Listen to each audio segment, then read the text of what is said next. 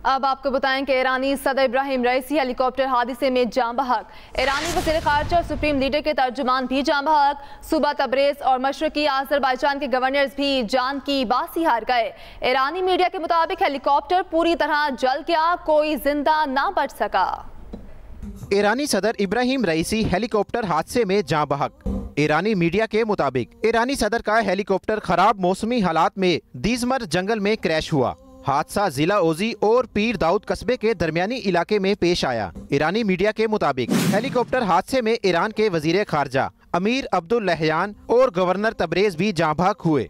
Helicopter हादसा तबरेज से 100 kilometre दूर पेश आया। ईरानी सुप्रीम लीडर आयतुल्ला खामनाई के तर्जुमान आयतुल्ला अली हाशिम और मशरकी आजरबाईजान के गवर्नर भी हेलीकॉप्टर में सवार थे। मीडिया रिपोर्ट्स के मुताबिक, हेलीकॉप्टर हादसे की वजह शदीद धुंध और बारिश को करार दिया गया है। प्रवास के आधे घंटे बाद सदारती हेलीकॉप्टर का दीगर दो हेलीकॉप्टरों से रबता मुनकता हुआ। उससे कबल, ईरानी हिलाल अहमर के सरबरा का कहना था, सदर रईसी का हेलीकॉप्टर क्रैश होने के बाद ज़िंदा बचे मुसाफिरों का कोई निशान नहीं। पाँच दाराने इनकलाब ने भी हेलीकॉप्टर हादसे का मलबा मिलने की तस्दीक की। ईरानी मीडिया के मुताबिक, हेलीकॉप्टर का मलबा मिल गया है और रेस्क्यू टीमें हादसे के मुकाम तक पहुँच गई हैं। ईरानी सदर इब्राहिम रईसी डैम के इफ्तः के बाद वापस तबरेज जा रहे थे।